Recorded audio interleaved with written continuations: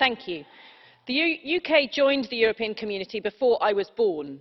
For 47 years, UK, EU citizens have been confident of their rights in the UK. A friend of mine who moved to the UK 40 years ago thought she would never have to choose between her birth country and the UK. Her rights have been changed hugely by Brexit, and that is a very different situation from all those who moved to the UK from the rest of the world. My friend married, brought up her children, divorced, worked for decades as a chaplain supporting the most vulnerable in her community. Now in her late 70s, she is razor sharp and fully aware of the impact Brexit has on her and her rights. But there are many like her, elderly women who moved to the UK with their husbands over 40 years ago who are not so able. Many who have dementia or other health issues, which make it even harder to prove their right to remain. Just as importantly, their rights to access critical services such as health and social care.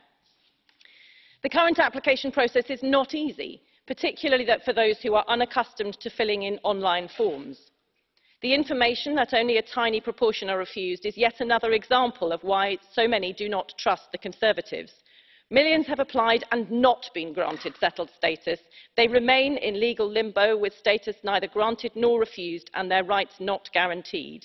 We fear for another Windrush scandal and the sick and the vulnerable will be most at risk. Thank you.